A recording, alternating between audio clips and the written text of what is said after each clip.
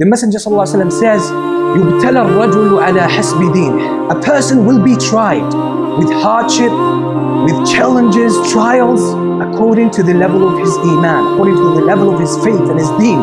The people who receive the most or the hardest trials are the prophets. Then the ones nearby in Iman, the person will be tried according to the level of their faith. For Allah subhanahu wa ta'ala loves the prophets most and the righteous ones most. According to the level of your Iman, of your taqwa, Allah loves you. So why does Allah send more trouble when He loves more? Because trial is good. Ultimately, there is so much wisdom and benefit in trials. But the thing is that most of us are short-sighted not to notice that. It's the wisdom of Allah subhanahu wa ta'ala. Many times, Allah sends opportunities our way and when we see them, we consider them, we consider them to be trouble. We consider them to be problems. We consider them to be challenges that will wreck our life that will destroy our life.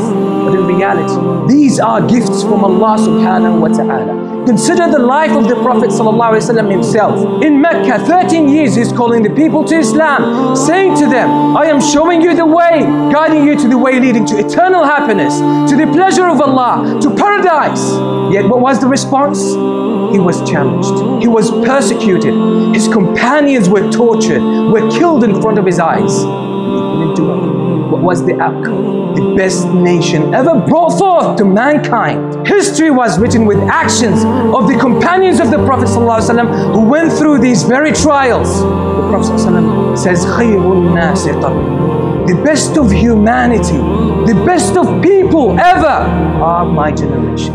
So if Allah subhanahu wa ta'ala wants to transform you, Allah wants to make you a better Muslim, you cannot ascend to a higher level of faith, of iman, of skill, of personal strength. Uh, what does Allah subhanahu wa ta'ala do to you? If you settle for complacency and you feel relaxed, you don't want to get out of your comfort zone, what does Allah subhanahu wa ta'ala do to you? He sends trials your way. Why? To transform So that you become a better person. فَإِنَّ مَعَ الْعُسْرِ يُسْرًا إِنَّ مَعَ الْعُسْرِ يُسْرًا Indeed, with every hardship, there is ease. That's the ease. But when we are in the trial, what happens? Our intellect, our understanding contracts. We start to question the wisdom of Allah subhanahu wa ta'ala. But bear in mind, whenever a trouble comes your way, consider that to be a gift from Allah subhanahu wa ta'ala, and you have been unable to grow up to a higher level, and Allah has given you the opportunity now. And by the way, if you don't maintain this mentality or this outlook on trial, what will happen? the trial will turn out to be punishment and you will miss all the advantages of that. Who says that? The Prophet Allah subhanahu wa ta'ala says, and listen to this beautiful statement.